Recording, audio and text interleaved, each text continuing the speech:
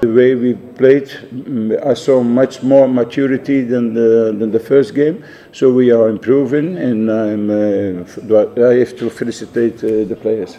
We are in uh, restructuring of the team, and um, I just came on board not that long ago, so it's always uh, adaptation on both sides. Uganda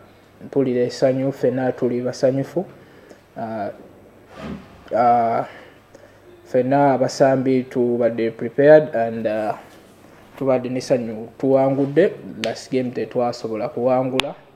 Ah, game eno tusobodde okuwangula. Golo tusobola okuwangula omupiira ogusobodde okutu okutuwa rhythm kwe tunaatandikira match ezijja eza fifa world cup